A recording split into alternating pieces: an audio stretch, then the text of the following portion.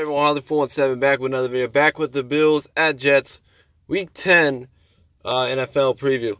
Can't believe it's already Week 10. The season's flying by. And I can't believe Sam Darnold made it nine weeks before sitting down. Rookie quarterback, a young team, and nobody believed he would have been out there this long.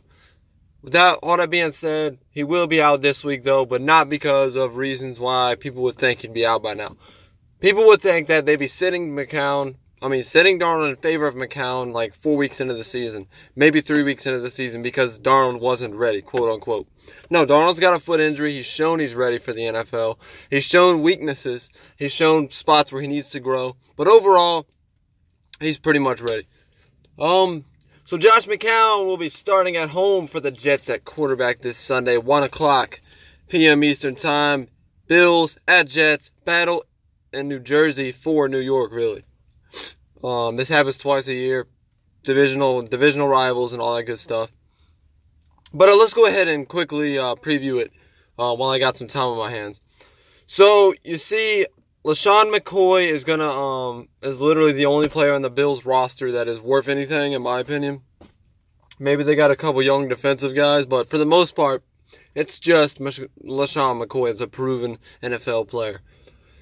Um, I believe Nathan Peterman is starting this game for the Bills.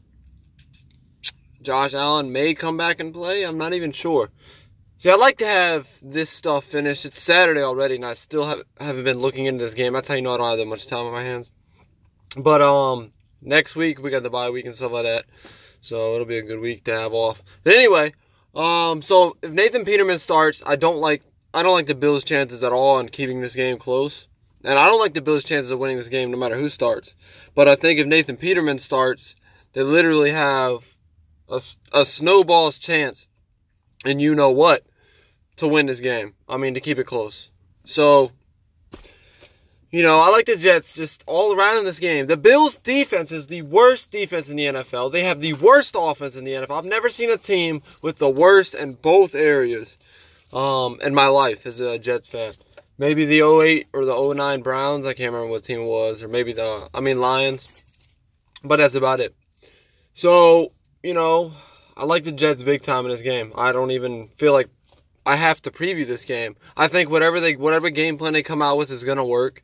Um, I'm not sure. I think Robbie Anderson's doubtful for this game. Like I said, Josh McCown's starting. They've got a veteran quarterback. They've got no freaking reason why the Jets should lose this game. I predict the Jets score 30 or more this game and allow under 10 points. Let me know what you guys think in the comments below. As always, you heard it first from Harley. This has been the Bills at Jets Week 9 pre Week 10 preview. See you guys in 2 weeks for Patriots at Jets Thanksgiving.